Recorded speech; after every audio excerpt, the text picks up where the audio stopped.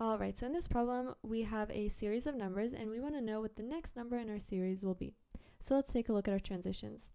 In our series of numbers, it seems like we have small transitions and then we have some bigger transitions here.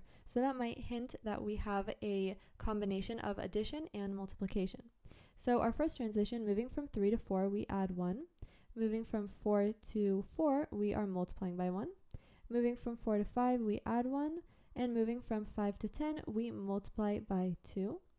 Moving from 10 to 11, we add 1. And moving from 11 to 33, we multiply by 3. So as you can tell, our transitions are changing from addition to multiplication. And our multiplication keeps growing by 1. So here we multiplied by 1, here we multiplied by 2, and here we multiplied by 3. So if our last transition was multiplication, our next transition should be addition and our addition stays constant at 1.